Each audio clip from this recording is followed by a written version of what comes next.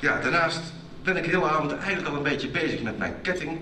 Hij hangt met de, eh, de naar voren. Het water van Boksel eh, staat erop. En mijn ketting die hangt niet zo goed de laatste tijd. Hij zakt allemaal naar binnen. Ik ben wat anders gevormd dan bijvoorbeeld Jan. En mijn schouders staan wat meer omhoog. En ik heb Jan net ook gevraagd, wil je me even goed hangen voor mij? Nou, dat heeft hij nog even geprobeerd. Dus daar zit ook weer een stukje overlevering, eh, Jan. Geweldig om dat, eh, om dat zo te zien, dat wij samen met die ketting staan te prutsen. Dank in ieder geval dat je het geprobeerd hebt. Ik laat van de week toch even een kettingje tussen zetten. En dan hangt hij wat beter. Wat ik nu ga doen is eigenlijk die ketting omdraaien. Nou, en u weet, als de burgemeester zijn ketting omdraait, dan komt er meestal een speciaal moment. Want als hij zijn ketting omdraait, dan staat er hier het wapen met de leeuw. En dat betekent dat ik mag gaan spreken namens iemand anders, namens de koningin. Of de koning, sorry. Ik heb het me nog zo voorgenomen niet. Koningin. Een komische dood moet er toch ook bij kunnen, Hendrik? Mag helemaal hoor. Ja. Vaak je uitnodigen. Ja. ja. Hendrik was in de tijd van de republiek, dus die had dat probleem niet. Ik dus wel. En als je hem omdraait, dan hoort er natuurlijk ook, eh, horen daar mensen bij. Heel graag wil ik even naar voren roepen Ruud van Nooijen en zijn vrouw Thea.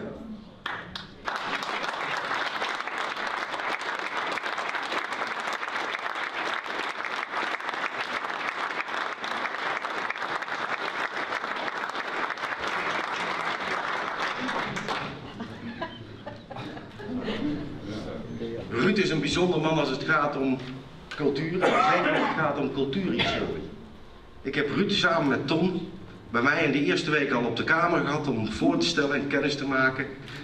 En wat ik toen al na een uur van de cultuurhistorie van Bokstel wist, dat was echt ongeëvenaard. Tom begon over Hendrik Vrijs en Ruud die vulde alle gaten en al wat werd uitgebreid en neergezet. De kennis die die man heeft over Hendrik Vrijs is gewoon echt enorm. Ik ben hem vaker tegengekomen, ook bij de Vlaamse Schuur een keer met de opening van het kunstwerk van de Dommeldraad.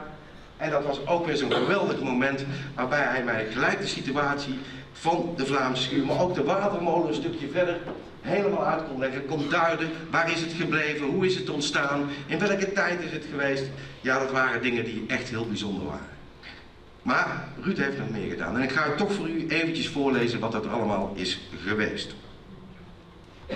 Hij is natuurlijk uh, officier geweest bij de landmacht, kapitein. Dat heeft hij jaren gedaan. En van 1976 tot heden was hij secretaris met een onderbreking van vier jaar in de jaren 90 van de stichting Kerkconcerten Bokstel en verzorger van de geluidsopnames van de orgelconcerten. Was je zeer nauw betrokken bij de organisatie van het Zuid-Nederlandse orgelconcours voor amateurs dat om de twee jaar in de Sint-Petersbasiliek werd gehouden en een grote uitstraling had. Van 1979 tot heden was je secretaris tot 1986 en sindsdien actief lid van de Heemkundekring Bokstel. Je hebt je buitengewoon ingespannen voor het behoud van de Bokstelse monumenten. Je maakt fotoreportages van cultuurhistorische evenementen en bij bijeenkomsten in Boksel. Je schrijft artikelen over historische en cultuurhistorische onderwerpen en houdt lezingen. Van 2003 tot heden ben secretaris van de Stichting Cultuurgeschiedenis Bokstel Meijerij Hendrik Vrees, waarom we vanavond hier ook allemaal zijn. Je verzorgt de PR en coördineert er alle taken en werkzaamheden. Dit jaar staat het bestuur van de stichting stil bij het 200ste jaar, sterfjaar van Hendrik Vrees. In dat kader wordt een tiental projecten binnen Boksel georganiseerd. Nou, dat hebt u net ook allemaal even gehoord. En dat is ook geweldig dat jullie dat voor elkaar gekregen hebben. Daar zitten al die elementen van Hendrik Vrees in. En daar, ja, daar heb jij zoveel voorwerk aan gedaan, dat is gewoon uh, geweldig. Ja, je hebt het boek uh, van Hendrik Vrees natuurlijk uh, afgekregen, dat heb ik voor jou mogen ontvangen. Ja, dat, is, was een grote eer voor mij om dat, om dat ook te krijgen. Um, dat boek geeft me zo ontzettend veel inzicht in de cultuurhistorie van Bokstel, maar vooral ook de ontwikkeling van Bokstel. Want Hendrik, dat was me er een, hè? Die, uh, die, is echt behoorlijk, uh, behoorlijk bezig geweest. Ja, dat is vreemd, want ik heb dat vorige eigenlijk ook een beetje gezegd. Als het gaat, ja Hendrik, ook met jou aankijken eigenlijk. Hè. Meestal zijn mensen bezig met de cultuurhistorie en vaak denken mensen dan heel erg in behoud. En dan noemen ze jouw naam erbij. Dat is toch onvoorstelbaar. Je hebt hier uh, een aantal jaren rondgelopen in het Bokstelse. En volgens mij heb jij meer veranderd en meer teweeg gebracht in Bokstel dan wie dan ooit. Was zo bedoeld? Ja. Oh, nee, dan is het Dus in die zin ben je er een. Klopt. En dat zul je voor Boksel ook altijd blijven. En dat komt dankzij Ruud. Omdat die vooral uh, uh, jouw, levens, uh, jouw levensloop en dat wat je gedaan hebt heel goed beschreven hebt, heeft in dat boek. Nou, dan van 2007 tot heden ben je medeoprichter, bestuurslid van de Stichting Veteranen in Boksel. Je verzorgt de PR en de website. Daarmee geef je bekendheid en bekende betekenis aan het werk van de stichting. Je bent zelf veteraan. Je weet dat het belangrijk is om voor elkaar te zorgen en elkaar te ontmoeten. En dat is dit jaar ook weer gebeurd. Helaas kon ik daarbij niet aanwezig zijn, maar dat, wist je van tevoren al. Maar dat zijn ook van die zaken die jij op touw zet. Nou, al die activiteiten had jij niet uh, uit kunnen voeren als jouw Thea niet aan jouw zijde had gestaan. Want ja, dat merkten we ook bij de uitreiking van het boek, is dat je er heel wat uren mee bezig bent geweest.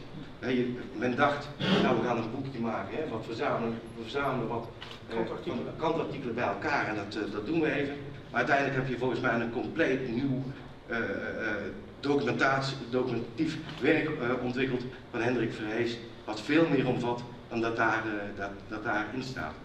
En um, ja goed, dat is natuurlijk geweldig. Ruud, als je zoveel doet en uh, uh, ja, zo prominent aanwezig bent in het Bokselse. En niet prominent aanwezig zijn om het zijn, maar om alles hier in Boksel verder te dragen. En met name, met name de cultuur en de cultuurhistorie. Dan valt het op bij mensen. En uh, er zijn heel veel mensen die volgens mij jou daarin bewonderen en ondersteunen. Maar er is er één in het bijzonder. En dat is de koning. En het heeft zijn majesteit, de koning, ja nu doe ik het goed, behaagd om jou dit te maken in de orde van Oranje Nassau. Ruud, enorm gefeliciteerd. Een applaus.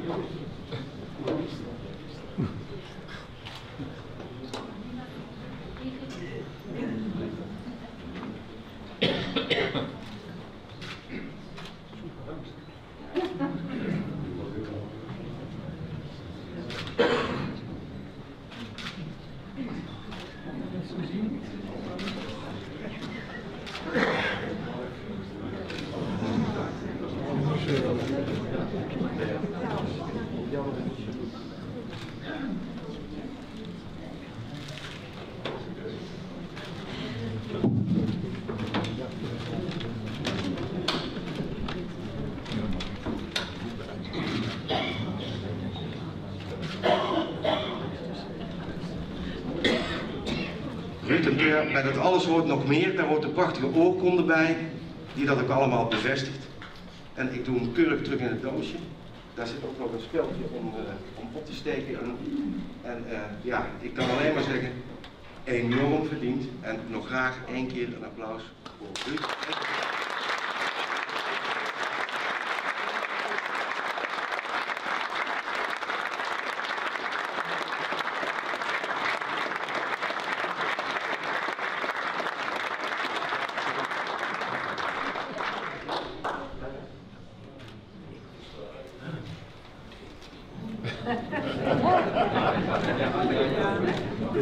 Mag ik nog één, nee, één minuut. Nee, nee, nee, ik, begin niet, ik begin niet over cultuurhistorie. Ik heb in Bokstel het genoegen gehad om zelf een keer iemand voor te dragen en dan gaat het om de geheimhouding. Maar ik spreek heel veel mensen, maar dit was een complete verrassing, want ik stond al klaar om te gaan fotograferen. Wat gaat er nou gebeuren? Mensen allemaal hartstikke bedankt. Ik geniet ervan. Dank u wel. Ik ben nog nooit in mijn leven zo verrast geweest. Nog nooit, nog nooit eerder zo verrast geweest. Het, is, het was geweldig. Ik had pas in de gaten, zelfs toen hij mijn naam noemde, dacht ik nog, Ruud, Ruud. Pas op het moment dat Nout, hierachter Nout van Kool, mijn fototoestel uit mijn handen nam. Toen denk ik, ja, dat zal wel voor mij zijn. Ja, dit is, die geheimhouding is zo goed gelukt. Het was een schitterend feest. Niet alleen vanwege die cultuurprijs, maar dit voor mij persoonlijk, ik vind het geweldig. Ook om het in zo'n ambiance te mogen ontvangen. Geweldig. Ja,